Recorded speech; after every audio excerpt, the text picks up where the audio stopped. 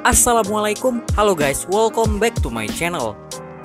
Oke di video sebelumnya aku udah pernah buat cara upload story WhatsApp agar tidak buram ya.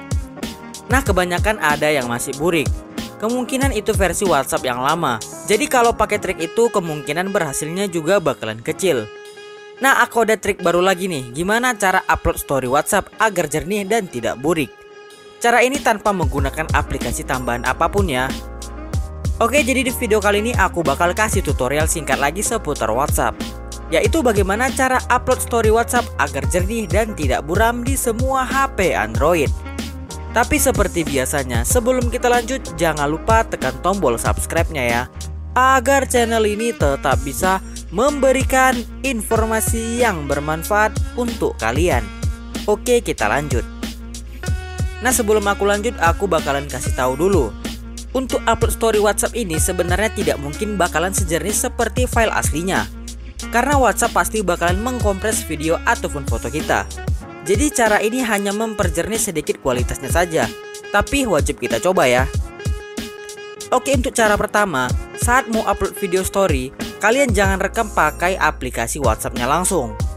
Karena hasilnya mungkin bakalan burik Karena bakalan dikompres langsung oleh WhatsAppnya jadi hal yang harus kalian lakukan adalah rekam dulu pakai aplikasi kamera bawaan kalian.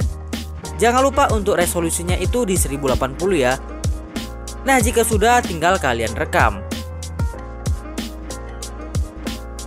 Hal selanjutnya yang kalian lakukan adalah setting untuk di aplikasi WhatsAppnya.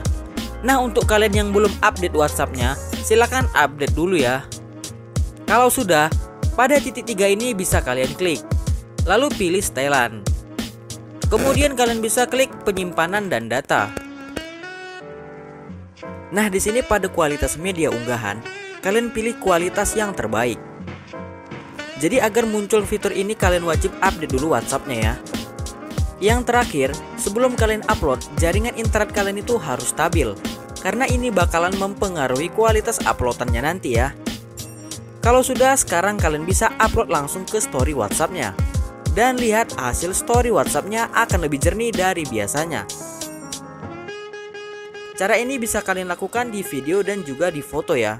Yang penting saat upload kualitas jaringan internet kalian itu harus stabil. Nah seperti itulah cara upload story WhatsApp agar jernih dan tidak buram di semua HP Android. Oke segitu saja video kali ini.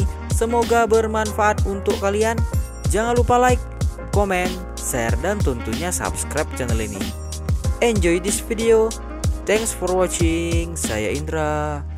Ciao